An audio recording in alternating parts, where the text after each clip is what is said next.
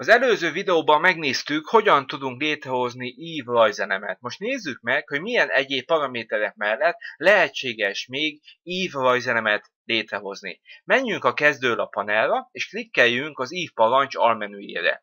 Itt a legördülő menüben 11 lehetőség áll rendelkezésre. Nézzük meg a középső blokkot. Ezt még nem vettük át. Itt mindig a kezdőpont és a végpont páros után a szögértéket, az irányértéket, vagy pedig a sugárértéket kéri be harmadik paraméterként a program.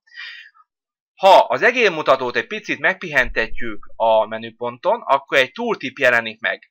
Ez egy nagyon hasznos segítség, főleg kezdő AutoCAD rajzolóknak. Láthatjuk, hogy a parancs ívet hoz létre a kezdőpont, a végpont és a befoglalt szög felhasználásával.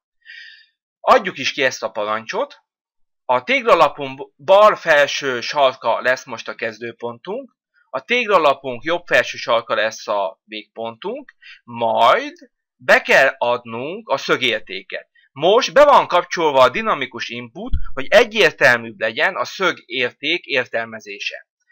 Ha beütöm most, hogy 45 fok, akkor létre fogja hozni a körívet.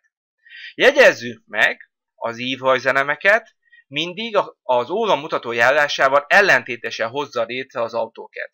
Ha ugyanezt a parancsot megismétlem, és jobb oldalon, tehát a jobb felső sarokpont lesz a kezdőpont, majd a bal felső sarokpont lesz a végpont, akkor már az egyenes fölé, vagyis a téglalap fölé hozza létre az íbajzenemet, és ha mondjuk a bevitt szögérték 90 fok lesz, akkor már is létrehozza a körívet.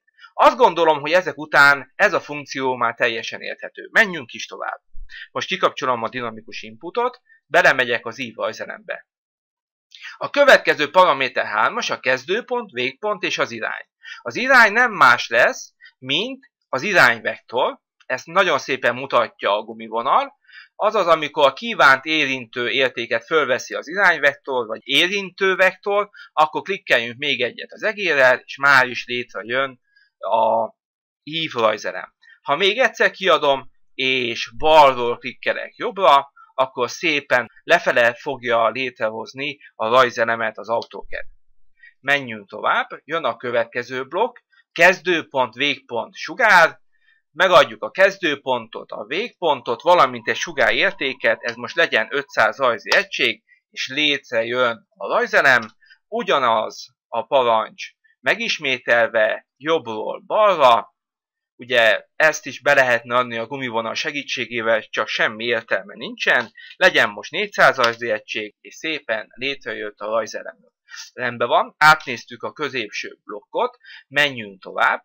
Az utolsó blokkba középpont és kezdőpont, a kezdőpár, majd ehhez fog hozzá társulni a végpont, a szög és a hosszúság. Az első az egy nagyon egyszerű létrehozási mód, meg kell adni a középpontot, majd az egyik végpontot, majd a másik végpontot, már is létrejött a rajzelem. Ha még egyszer kiadjuk, ugye a középpont adott, de most a jobb felső sarok lesz a kezdőpont, a bal felső pedig a végpont, már is szépen megrajzoltuk a körívünket, az egyik lefele, a másik pedig fölfele mutatott.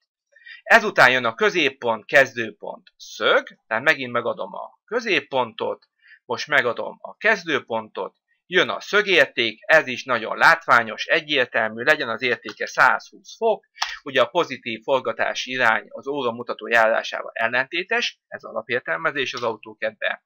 Majd jöjjön a legutolsó, a középpont, kezdőpont, hosszúság, középpontunk, a kezdőpontunk, majd adjuk meg a hull host, ez be lehet vinni grafikusan, meg numerikusan is, legyen ez most 400 rajzi egység, majd üssünk egy enter. És szépen létrejött, ha megint berajzolnám a full host, és megnézném a hosszát a tulajdonsággal, vagy a gyors tulajdonság ablak, akkor szépen kiírná, hogy az egyenes hossza 400 rajzi egység. Áttekintettük a írvajzolás parancsokat, Természetesen csak azért, mert 11 féleképpen létre lehet hozni írvajzenemet, nem kell mindig felhasználnunk ezeket a funkciókat.